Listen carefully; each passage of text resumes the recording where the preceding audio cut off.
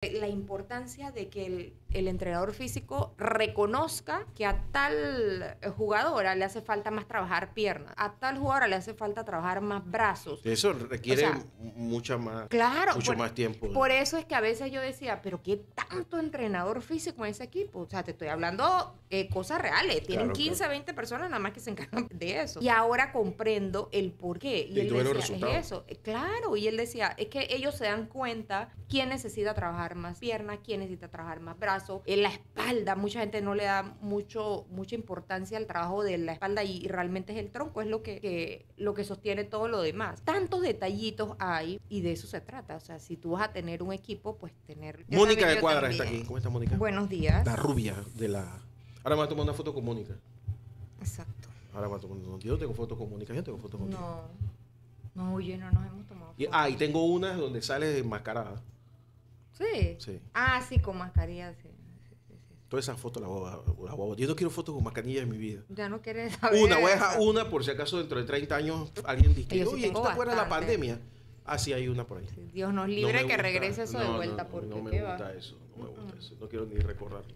Oye, ¿llueve o no llueve hoy? Porque hay bastante brisa, pero está En algún lugar van a caer unas gotas, pero ya, no va a pasar más de eso. Y en estos días estaba viendo el- Pero, el- ¿tú un partido que- de fútbol en Chorrea y un palo de agua. Mira, desde que yo me acuerdo, estaba pelado. Los sábados y domingos de carnaval siempre son así. Sí. O sea que esta es una, e- esta época de febrero siempre es como que te- como que vienen estas lluvias refrescadoras. pero yo nunca he estado en un culecón donde haya llovido. Eso sería bueno. Porque seguro que has estado en el interior. Sí, en el interior. centro y allá no llueve ni por casualidad en febrero. Imagínate. Ni por casualidad. Sería chévere. Aquí en Panamá sí. Bueno, este fin de semana eh, llovió fuertísimo allá en Guararé. Este Sí. fin de sí, mi mamá estuvo, estaba allá y me escribió por chat y me dice, ¿tú puedes creer que está cayendo un aguacero fuertísimo? Entonces, yo dije, ¿en Tiene serio? problema de cambio climático en Guararé. Eh, En Guararé. ¿Qué te parece? Mira tú. Sí, en Guararé se dio este fin de semana un, un evento por segundo año que lo organiza el, el mismo pueblo, eh, donde hacen equipos de béisbol de familias. Cada familia tiene un equipo de, de softball, realmente de softball.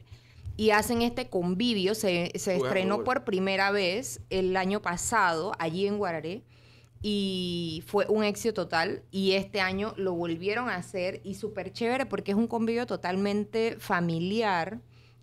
Eh, el verdadero organizador es eh, un ex pelotero del equipo de Los Santos, eh, Gustavo Jaén, y él junto al hermano que también Jaime Jaén, pues que también son ex peloteros, lo organizan. Y la verdad que vi las imágenes, me enviaron los, los videos y qué encuentro más bonito. Se veía súper chévere. eh, de hecho estuvo FTV allá cubriendo ese evento. Eh, también estuvo un canal deportivo de YouTube donde lo, lo pasó en vivo. Oye, y qué cantidad de Canal deportivo gente. de YouTube. Sí. Mira tú. Eh, la verdad que el, el evento quedó súper chévere. No sé si volverán a hacer otro en, en este año, pero seguro se va a volver a repetir y se veía esa competencia bonita, sana entre familias que era ya la familia Jaén, la familia Díaz, la familia Castillo, eh, o sea, e- el, de verdad que, que súper chévere y se veía que no son peloteros profesionales, sino amateur todos y de todas las edades. la gente no transmite sus cosas porque no quiere. Sí, Porque si total, tú tienes un porque canal por de- YouTube, Tú abres tu página de YouTube y haces, Sí. transmite lo que te dé la gana lo que quieran. y no y no no te cuesta y Sí. la gente no lo hace pues no quiere. De hecho, eh, el, el comentario allá era que había mucha gente eh, que era de allá del pueblo y todo, el- de, de sitios aledaños a, a Guararé y que tenían añales de no ir y gracias a este convivio pues regresaron. Así que fue un encuentro bien bonito, una, una, un- una convivencia familiar totalmente y deportiva, porque en verdad que el, el deporte pues eh, del panameño siempre se dice que es el fútbol, pero para mí siempre ha sido el béisbol desde, desde hace muchísimos años. Oye, hablando de béisbol, ¿viste que el equipo de, Belleza. de Chiriquí tiró al cuadro Los ayer federales el de tercer Chiriquí. cuadro Así es. y perdieron 5 a 4? Sí. Sí, sí, sí. Eh, Está duro ese equipo. Sí. Lo que pasó ahí. Pe- Pero es que, tú sabes que, Mónica, yo creo que esa liga ya, o sea, aquí hay que tomarlo en serio. Aquí debe haber un béisbol juvenil que se juegue todo el año y que no se tenga que jugar un día tras otro. Exacto. Aquí hay que jugar como en otros países, Ujú. los, jue- los viernes, los sábados y los domingos. Así es. Y que un equipo no tenga que jugar todos los días, que juegue un día. Eso. ¿Para qué? Para que el, el muchacho pueda ir a la escuela. Claro. Que es, lo, que, es lo, que es lo principal. sí. Y que jueguen nueve, diez meses. ¿Cuál es el problema de tener una liga larga? Así es. Eh, y después entonces tú pones a la liga mayor. La, la liga mayor ya eso hay que disolverlo. Ya tenemos que tener una liga profesional. Profesional, exacto. Porque ya no sé si has visto la la- los, equipos de la mayor. Parece la liga de los pipones. eh, la liga de los veteranos. Y ya, Sí. no, no tiene sentido. Y Tenemos nadie que ir ve. subiendo ese relevo generacional. Sí, y nadie ve la del, la del béisbol ese profesional porque nadie, nadie sabe qué es eso. Ujú. Nadie lo entiende. Y, y no está Bien, regionalizado. no, si da hasta pena ver esos juegos vacíos. Vacíos, el sí, estadio- cinco personas ahí en esas gradas.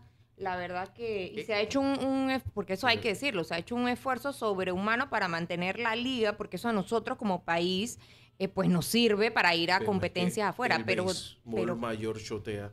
Yo quiero saber por qué el carro de Panagas tiene que entrar por el estacionamiento. ¿A quién le despachan Panagas aquí?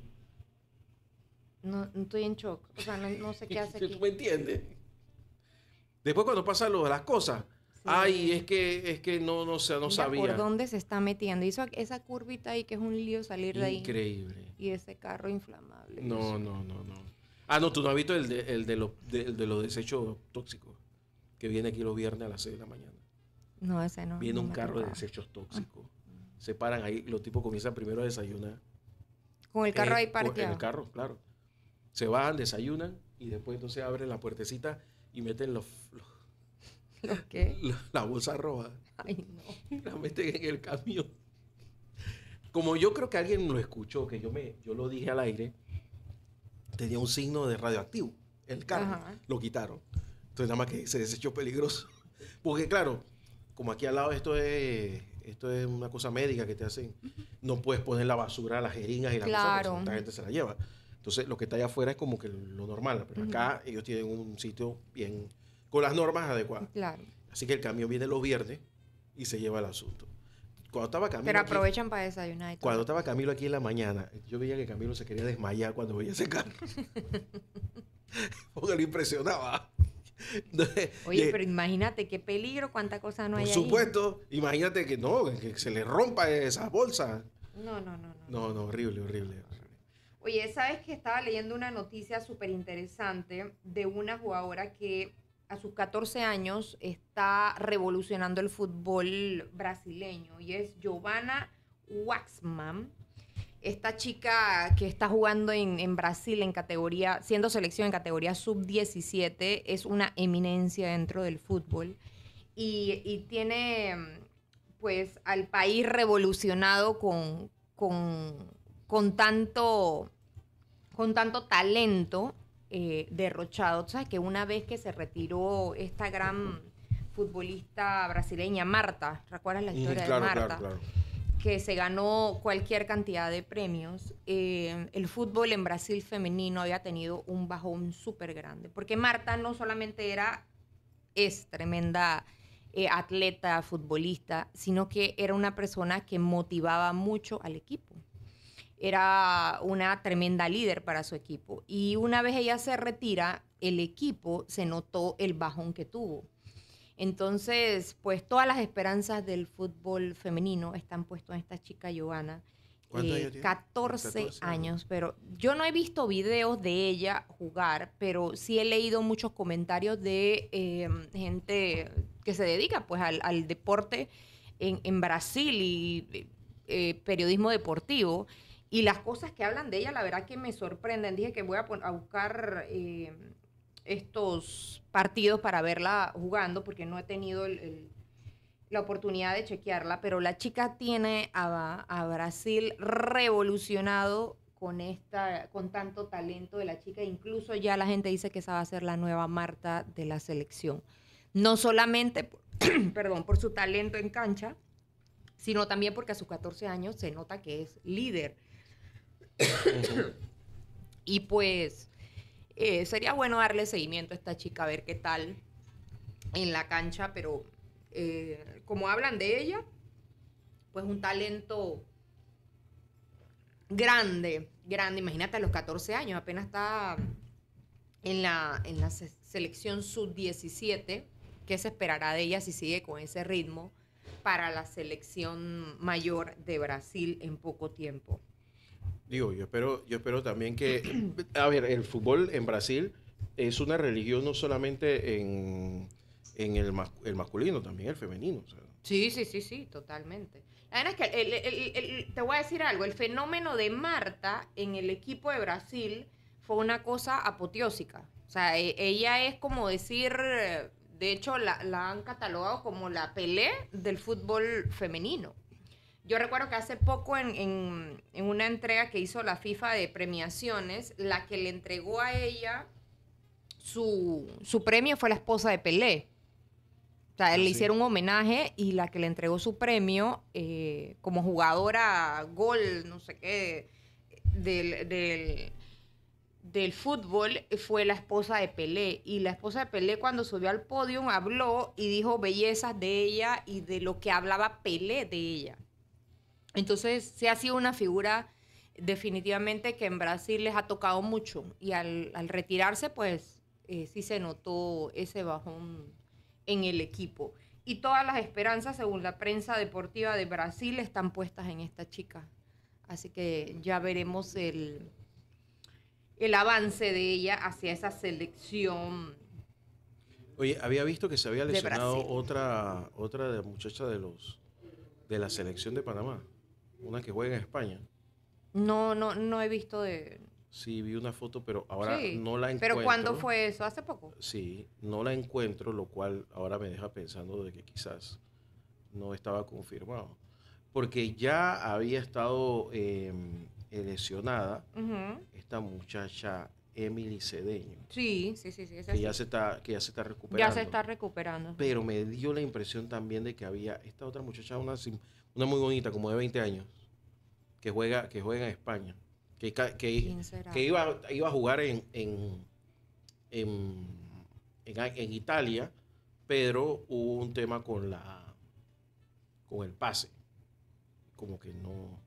Pero yo vi la foto, pero ahora me quedo pensando. Mira que no, no he visto esa noticia.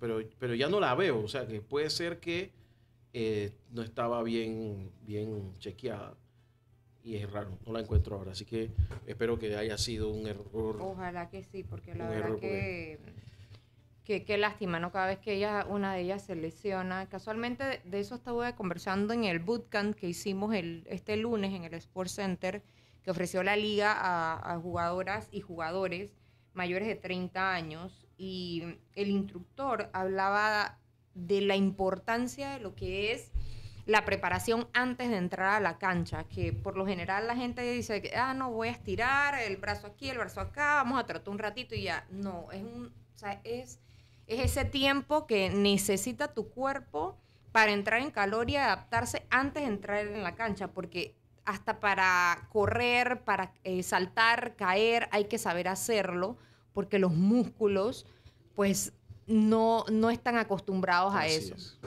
Entonces, muchas de las lesiones que se dan en la cancha es precisamente por eso, por el trabajo previo al partido que no se hace como se tiene que hacer.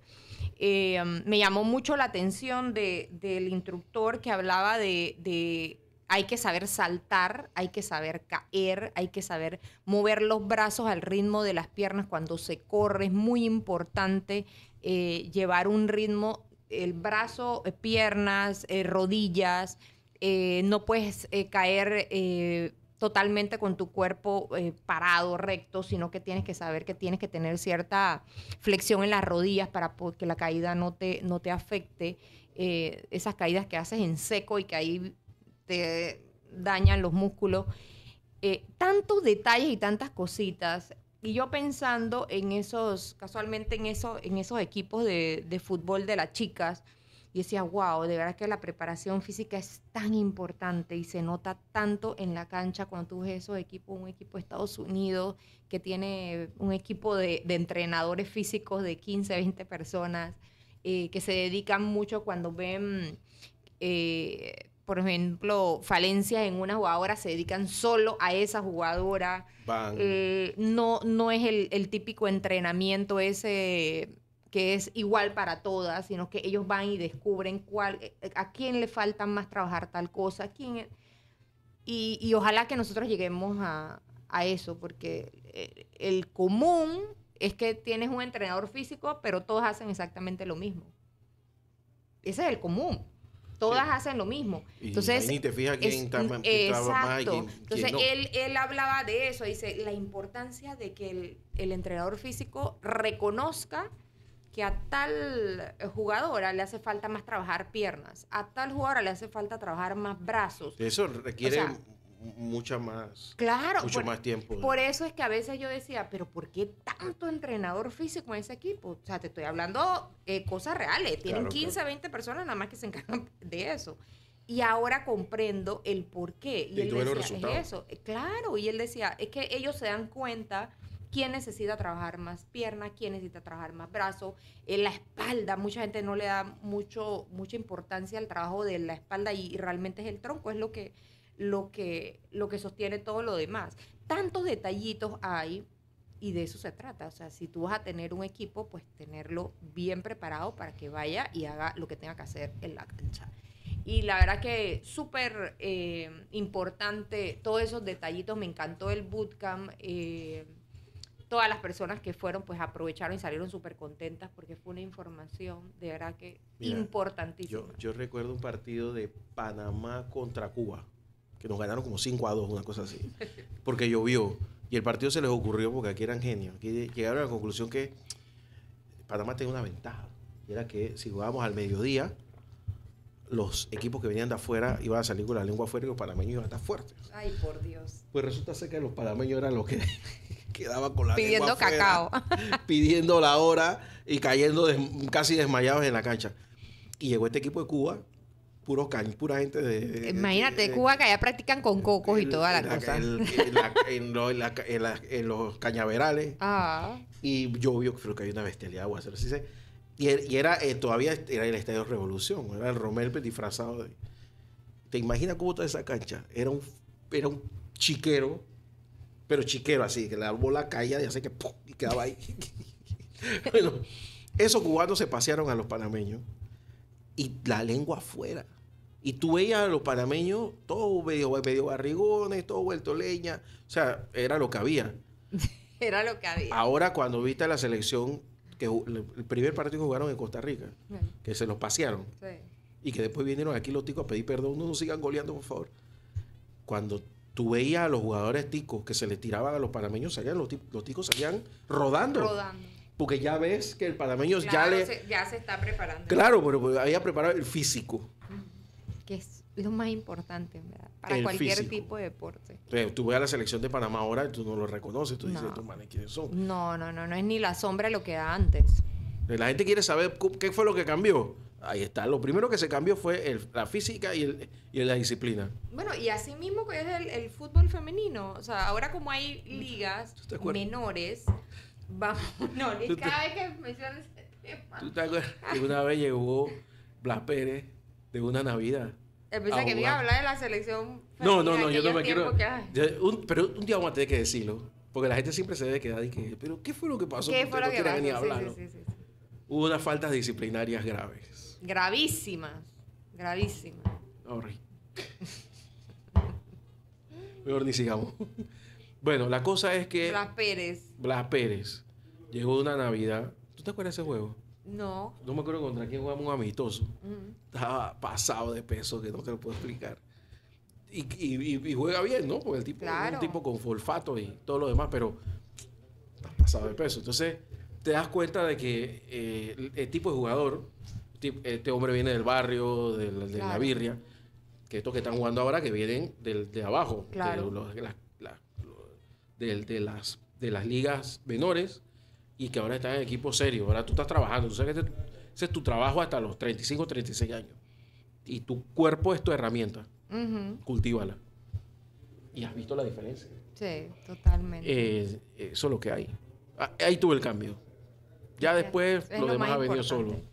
Ahí Mónica, Diego, Diego, ahí está Diego mirándome de flash. vamos a la pausa y regresamos con Mónica de Cuadra en la mañana Ancon y la liga LFFP, que no hemos hablado una palabra de eso aquí en la mañana. Exactamente. Al, al volver de cinco minutos de la mañana, aquí en la mañana Ancon, seguimos con Mónica de Cuadra y la liga de fútbol flag.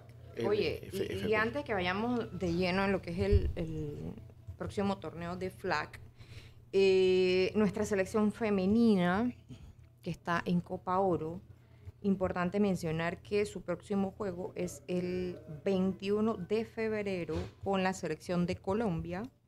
24 de febrero juega mm, eh, Panamá. Bueno, ahí sí tenemos que esperar el resultado en, en tabla a ver con quién nos toca, pero jugamos el 24 de febrero también. Y ya oficialmente el 27 de febrero jugamos con la selección de Brasil. Así que pues toca ver qué tal, qué tal nos va. Toca ver qué tal nos va. Ay, no, es que ya Ay, vamos con, esos, ver. con esos resultados, la verdad que, que hemos tenido hasta ahora. Importante que, bueno, es una gran ven- ventana, como siempre digo, y ojalá pues Hay que aprovecharla. hay que Ah, aprovecharla. exacto, hay que aprovecharla y, salga alguna sorpresita buena ahí para nuestras chicas y, y, pues sean vistas en, en otros clubes. Eh, y entrando de lleno en lo que es eh, pues el torneo que estamos esperando, que es el torneo de verano, eh, inicia el sábado 17 de febrero. Vamos a tener dos categorías, categoría de hombres y categorías de damas, mamás y papás. Eh, inicia el 17 de febrero, que cae sábado de las 4 de la tarde, pero ese va a ser el único sábado que vamos a tener. Todos los demás partidos van a ser domingos desde las 4 de la tarde y terminamos el 14 de abril. Muy importante, siempre estos torneos se hacen no más de dos meses porque después se hace demasiado extenso la competencia y la verdad que pues necesitamos descanso un poco para, para los siguientes torneos porque ya nosotros tenemos una agenda cubierta hasta diciembre del 2024 en torneos.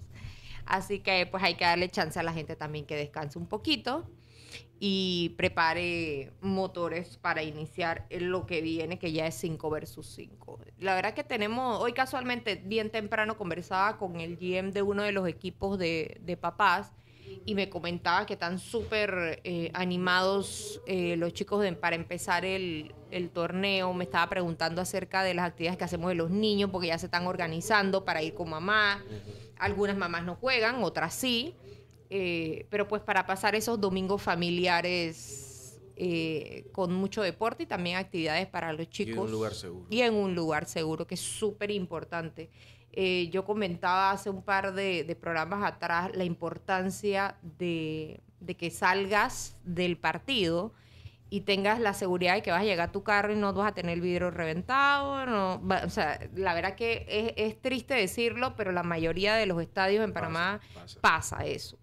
Eh, pues el Sport Center es un sitio súper seguro donde, donde tenemos todas las comodidades. Siento que también está en un área bien accesible para todos llegar eh, y pues darle la tranquilidad a la, a la gente que nos visita, a los mismos jugadores y a todos de que va a estar en un sitio seguro, que puede ir tranquilo con su familia eh, y que los horarios pues también se prestan para que vayan eh, en familia a ver los partidos. Otra, en los espacios que quedan libres en otros, eh, en otros estadios, pues ponte un domingo e ir a jugar a las 10, 11 de la noche, wow, está pesado, ¿no? ¿Y cómo vas a llevar a los niños a esa hora ya? Eh, pero nosotros pues nos aseguramos de que lo principal que es eh, la seguridad de no solo los fanáticos, sino también de todos eh, nuestros jugadores, jugadoras, coaching staff y el personal de la liga también que vaya y pues en un sitio, estemos en un sitio seguro. Nosotros ya nos estamos preparando para, para iniciar el 17, viniendo de carnavales, el siguiente fin de semana, ya cae 17, y ya empezamos nuevamente con nuestro Lunes, torneo. No, di- Es sábado. sábado 17, Sábado exacto. 17, sábado O sea, eh, creo que a 14 de febrero cae miércoles de ceniza. O sea que sería el fin de semana ese de, después de, de de la- después de los carnavales. Así que pues allá los vamos a esperar todos a partir de las 4 de la tarde el sábado 17 en el Sports Center con la Copa de Verano LFFP 2024. Así arrancamos el año con esta copa y pues ya podrán ver todo lo que sigue hasta diciembre del 2024. Oye, va volando este año. Sí. ¿Tú no viste un... Hay unos, estos programas de la noche, yo siempre veo, trato de ver en la introducción Ujú, de la noche de Estados Unidos, de Jimmy Fallon y esa gente. Ajá. Y uno presentó, es que bueno, para que vean que todo el mundo decía, porque todo el mundo decía que parecen, ¿cómo es que eran? Eh, ya se fue enero. Eh, es increíble lo rápido que pasó y todos decían lo mismo, todos los canales, la misma palabra, como si lo hubieran guionado.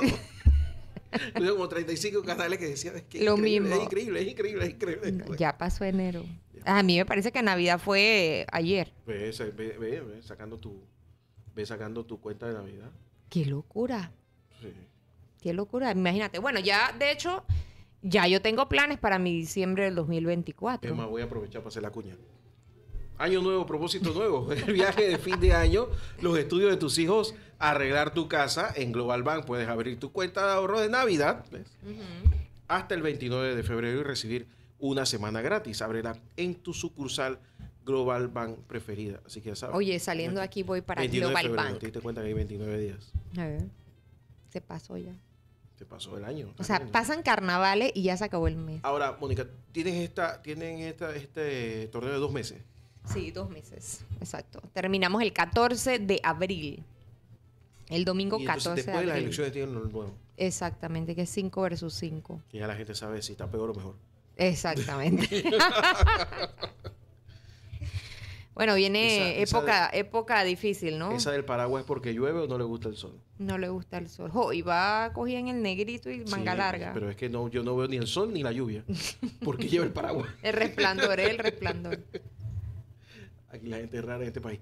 Mónica, la gente se fue a carnavalía. ¿Te estás dando cuenta? Sí. Mira que hay 50 vacía. Vacía. Y Ya mañana no quiero ni saber. Yo estaba viendo unos videos de la práctica de tonadas allá en las tablas, que allá arriba y que allá abajo. Ay, Dios mío, eso no se cabía un alma. Y ya la gente está esperando Tú, tú carnaval. no te vas de viaje, ¿no? No, no, no, no. Me voy de viaje. Yo creo que tengo que ir a trabajar el martes de carnaval en el interior. Estás vendiendo, que- va a vender cerveza y esas cosas. No, no, no, no, no, no. Tengo una. Eso tiene de malo. No, Los supuestos son buenos. no, oye, yo, plata. yo lo que menos le tengo miedo es al, al trabajo. Lo que sea, yo hago. Mira, si, si a mí me Feliz echan, de la vida. Si a mí me echan de aquí, yo pongo mi impuesto en los carnavales. Yo siempre lo he dicho. Yo, después que sea trabajo y que me sume, No, yo yo trabajo estoy. hacer una emisora cristiana. Ok, yo entonces me voy a mi, mi puesto allá. Eso está bueno. sí, yo creo que sí tengo que ir porque tengo una, un trabajo publicitario eh, y, y creo que voy a tener que ir a chequearlo el martes de carnaval, eh, pero digo, voy y vengo, no es una cosa que, de verdad que yo nada más de lo, imaginarme el tranque, los- ay no, ya me va dando voy, estrés. voy a, voy a motivarte. Dice a Bianca que tiene un mensaje para Panamá. A ver, Vamos por tu cielo con el triple de vuelos y horarios a Bogotá. Además, volamos directo a El Salvador para conectarte con Centroamérica. Compra en avianca.com. Así que recuerda avianca.com para poder ir a Bogotá. Que tú sé, tú sabes que el destino que más utiliza la gente que viaja en Panamá es Bogotá. yo amo Bogotá. La gente va La más a. Bogotá, después a a San José. Creo que el tercer destino es Caracas. Mira. Y si no me equivoco, el cuarto es Miami. Yo amo Bogotá y me encanta Bogotá. Esa es una buena opción, ¿ves? Para irme de No, se pasa muy bien. Pasajes económicos. Yo no viviría en Bogotá, pero sí me gusta para ir para el fin de semana. fin de semana, Sí, claro. Medellín también me encanta Medellín. A mí ¿Ah, me sí? encanta Medellín. El clima en Medellín Nunca me gusta. Medellín. No, No, me encanta. Me encanta Medellín no también. sé, la gente le gusta, todo el mundo me dice lo mismo. Hace, Dice, "Ah, hace poco yo fui a Medellín. Me encanta. La comida, sobre todo los precios. Me han dicho que es menos frío que. Sí, es que menos frío, es súper fresco. Me encanta el clima. Eh, Bogotá me encanta por el clima también, frito. Eh, pero chévere, mira, a Bianca una buena opción para, para estos carnavales. Mira tú. y tienen vuelo directo al Salvador también, qué chévere, no sabía. Oye, Mónica, estos equipos que ustedes, que ustedes tienen en la liga, eh, ¿ya los tienen consolidados o la gente todavía puede Nosotros tenemos rato de no te decimos cómo puede hacer la gente para sumarse a, tu, la liga. Sí, eh, no, yo estoy recibiendo eh, todos los equipos. De hecho, ahorita mismo estamos trabajando en... Cuando yo inicié la liga, la iniciamos de cero, buscando, era una liga intercolegial. Entonces yo tocaba la puerta en las escuelas, las ayudaba a las madres de familia a armar el equipo, le conseguíamos todo. Eh, llegó pandemia y obviamente las escuelas cerradas donde yo conseguía más equipos no se podía. Entonces ahí fue donde abrí la puerta a que pudiesen entrar equipos independientes que no estuviesen amarrados con la escuela. Eh, pero ahorita mismo estoy trabajando, de hecho, en volver a tocar las puertas en las escuelas y para que eh, pues que mm. salgan estos equipos nuevos. Si usted está interesado, claro, si usted está interesado en, un equipo, pues nada más nos tiene que escribir a nuestras redes sociales, pues en Instagram, el privado, en Liga de Flag PTY, Liga de Flag PTY, y ahí pues les vamos a dar todas las indicaciones y todo el, el, apoyo para que nos pueda, para que pueda armar su equipo o jugadoras que quieran ingresar a equipos ya formados, también tenemos esa opción. Solo nos escribe a Liga de Flag PTY y ahí le vamos a dar toda la información y todo el apoyo. Pero si queremos reclutar pues equipos nuevos, ¿no? Que vengan equipos nuevos eh, y también eh, con la idea de incursionar en otros deportes. Nosotros hicimos la liga hace dos años eh, de kickball, y el kickball que está súper, súper pegado aquí en Panamá. Hicimos una liga de, por dos, dos temporadas de liga de kickball de papás y mamás. Y quiero volver a retomar esa idea. Igual las ligas empresariales de fútbol, de fútbol de 5 y 5, también. Ya empecé con una, eh, y pues también quiero ir incursionando en ese, en ese deporte. Hay que diversificarnos. Eso es así, eso es así. Cada vez se juega más el, el, flag en Panamá y, claro. y hay que ver la cantidad de gente. Y se gasta bastante en, implementos, pero... Así es. Y es que yo he visto que la gente lo está haciendo en todo. O sea que por ahí hay unos equipos de, de rugby. Sí, sí, sí, total. Estos días vi yo un partido en el, vi un partido en el Estadio Emilio Arroyo de rugby, vi un par de cosas que no hubiese querido ver, de cabezas rotas, esas partidas, eh, fracturas, eh, de verdad que... Pero eh, no sabía que esa, ese, ese deporte tenía todavía tanta gente. Y, chévere ver que hacen deporte, siento que le, le hace falta bastante eh, ¿qué te puedo decir? Dirección no solo a la liga, sino también pues a los equipos, ¿no? Porque el rugby, bien cierto, es un deporte bastante físico y, tú sabes, algo fuerte, pero eh, yo veo rugby en, las ligas internacionales estas europeas, que es donde más se juega, y no veo tantas cejas rotas, tantas... Entonces... Era falta de práctica, la falta de práctica. Sí, claro, claro. Pero sí se practica, sí se practica. Digo, ese, ese, en esa liga sí sería difícil que yo entrara. Difícil que yo entrara porque ese montones de accidentes y esas cosas. Esta niña todos los días hace eso. Chuleta, qué peligro. Eh, nosotros aquí, cuando estamos hablando de repente como a esta hora, como 15 para las 11, pasa una muchacha que debe tener como 25 años en una, en una ¿cómo se llama? Patineta eléctrica. Ajá en el, cuarto carril, lo cual es normal, está bien, pero pasa sin casco y sin ningún tipo de... No tiene nada de, nada. Ella pasa, se monta en ese y va. Dime algo, ¿y esas, esas patinetas eléctricas o scooters? No está regulada en Panamá. Ah, eso es lo que te iba a preguntar. Pues eso no tiene ni placa ni nada. No está regulada, ella puede andar por ahí. Ahora, por el bien de ella, debería tener al menos Claro. Pero bueno, pues, ojalá no le pase nunca nada, pero ¿Qué le pasó? No, no, no, yo viendo el, reloj. Ah, yo pensé que estaba viendo, digo. Mira, eso es un peligro. Sí, sí, eso es un peligro. Oye, ¿no quieres entonces a Bogotá? No, yo voy a averiguar de una vez. Pues si no, también tengo otro lugar para motivarte. ¿Cuál? Enamórate del todo incluido en Royal de Cameron, Panamá. Reserva ya y recibe hasta un 25% off para que viajes los fines de semana con nuestro producto All Inclusive Plus. Además, Los niños menores de 5 años viajan gratis. Yo creo que ya tú no estás en esa categoría. No. Disfruta de bebidas premium ilimitadas, desayuno y almuerzo en restaurantes privados, minibar con sodas y cervezas y mucho más. Y si eres amante del golf, eres amante del golf. Yo tengo mucho tiempo que no voy al de Cameron. Mucho tiempo. Vamos a resolverlo. Amante- como eres amante del golf, por hospedarte en All Inclusive Plus, recibirás un green free gratis diario en el Mantarraya Golf Club de nuestro hotel de Cameron. Vive una experiencia exclusiva. Llama ya al 821-11, 821-11. Validar fechas, términos y condiciones en www.decameron.com. Hace tiempo yo quería hacer esto, Diego, meter la conversación y la cuña. Mira, ajá, ok. ¿Viste? Pues ya, la, gente no se dio cuenta, pero ahí Exacto, está súper. metí como cuatro cuñas de diferentes. Vamos también para el de Cameron, otra buena opción. ¿Viste? ¿Estás viendo? Ya tenemos dos buenas opciones. Avianca para Bogotá o El Salvador.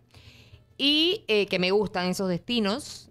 Y, la- también. Y la de cuenta de. Navidad para que no quede limpia. Ay, Global Bank. No, pues. yo saliendo de aquí voy para Porque Global mira, en Bank. diciembre tienes la fiesta de la liga, que es la fiesta de la oficina de, eh, la, de la empresa. Exacto. Eh, la- los pelados. Eh, el viaje. El viaje. Mucho Abre gasto. tu cuenta de Navidad. Tengo que mucho- abrir mi cuenta. mucho gasto. Wow, a mí me espera fuerte, fuerte, fuerte. Mira el otro como entra. Ese, ese, ese, Eh, ya, él cree que está manejando un, un tractor. ¿Tú vieras cómo Eh, entra el MacDiel? El entrada Él aquí, entraba ahí, pa, pa, pa, ese pobre carro. Después cuando está todo desbaratado por abajo. Di que, ah, no, que... que, que Las calles y el, El ministro mop. y el móvil, la cosa. el mopo. Mientras que no nos ayudan, hay que. Vaya, vamos a. Nosotros también a ser cuidadosos. Pobre carrito de MacDiel. Pero si tenemos buenas opciones, yo de aquí tengo que salir a Global Bank porque la verdad que me espera un año, un diciembre fuerte en gastos. Fuerte, fuerte en gastos. Bien Sí, fuerte. Este año, este año está medio duro. Uf. Y a mí me ha tocado ver gente que, que le han dicho de que "Ey, lo lamentamos, pero no seguimos más. Así que... eh, Bueno, no- vienen épocas de, de vacas muy irregulares después de mayo, por no decir vacas flacas. Vienen vacas irregulares en- después de mayo. Bueno, vas a eh, tener que buscar una alternativa a la eh, vaca. Ya no, totalmente. ya no son ni flacas. Ya no son ni flacas, exacto. Tú sabes que yo había, tú sabes que yo había apagado ese micrófono porque no sé, me acuerdo que estábamos hablando que yo no quería acá. Después me quedé pensando, yo lo prendí. Bueno, pero Sí, sí, sí, yo me escucho. Sí, sí, sí. Así que bueno, oye Mónica, este, nos vamos. Nos vamos. No nos vemos el próximo miércoles El próximo ni nos miércoles, no, escuchamos, sino la- sino nos el de la más semana arriba. que sigue. Exacto, la semana que ahí- sigue después de carnavales.